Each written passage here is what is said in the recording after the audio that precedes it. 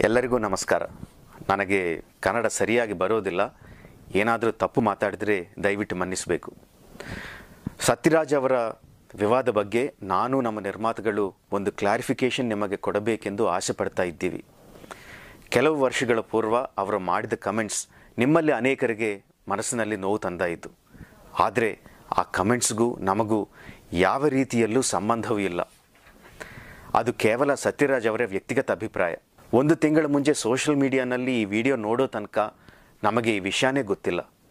ಅವರಿಗೆ ಕಮೆಂಟ್ ಮಾಡಿ ಒಂಬತ್ತು ವರ್ಷ ಆಗಿದೆ. ಆಮೇಲೆ ಅವರು ನಟಿಸಿ ನಿರ್ಮಿಸಿರುವ ಎಷ್ಟೋ ಚಿತ್ರಗಳು ಕರ್ನಾಟಕದಲ್ಲಿ ರಿಲೀಸ್ ಆಗಿವೆ. ಬಾಹುಬಲಿ ಪಾರ್ಟ್ ಒನ್ ಕೂಡ ರಿಲೀಸ್ ಆಗಿದೆ.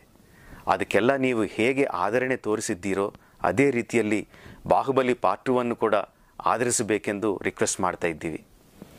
ಸತ್ಯರಾಜ್ ಅವರು ಈ ಸಿನಿಮಾಕ್ಕೆ ನಿರ್ದೇಶಕರು ಅಲ್ಲ, ನಿರ್ಮಾಪಕರು ಅಲ್ಲ. ಈ ಸಿನಿಮಾದಲ್ಲಿ ನಟಿಸಿರುವ ಅನೇಕ ಆರ್ಟಿಸ್ಟ್ಗಳಲ್ಲಿ ಅವರು ಒಬ್ಬರು. ಈ ಸಿನಿಮಾ ನಿಲ್ಲಿಸಿಬಿಟ್ರೆ ಅವರಿಗೆ ಬರೋ ನಷ್ಟ ಏನೂ ಇಲ್ಲ.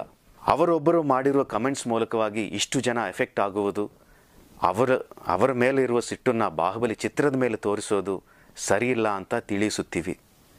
ಈ ವಿಷಯದ ಬಗ್ಗೆ ನಾವು ಸತ್ಯರಾಜ್ ಅವರಿಗೆ ಫೋನ್ ಮಾಡಿ ಸಿಚುವೇಶನ್ ಎಕ್ಸ್ಪ್ಲೇನ್ ಮಾಡಿದ್ದೀವಿ. ಅದರ ಮೇಲೆ ಏನು ಮಾಡಲಿಕ್ಕೂ ನಮಗೆ ಶಕ್ತಿ ಇಲ್ಲ ನಮಗೆ ಸಂಬಂಧ ಇಲ್ಲದೇ ಇರುವ ಈ ವ್ಯವಹಾರದಲ್ಲಿ ನಮ್ಮನ್ನು ಇನ್ವಾಲ್ವ್ ಮಾಡಬಾರ್ದಂತ ಮತ್ತೊಮ್ಮೆ ನಿಮ್ಮೆಲ್ಲರನ್ನ ರಿಕ್ವೆಸ್ಟ್ ಮಾಡ್ತಾ ಇದ್ದೀವಿ. ನಿಮ್ಮ ಪ್ರೀತಿ ಸದಾ ನಮ್ಮ ಮೇಲೆ ಇರಬೇಕೆಂದು ಆಸೆ. ಹೃದಯಪೂರ್ವಕ ಧನ್ಯವಾದಗಳು. ನಮಸ್ಕಾರ.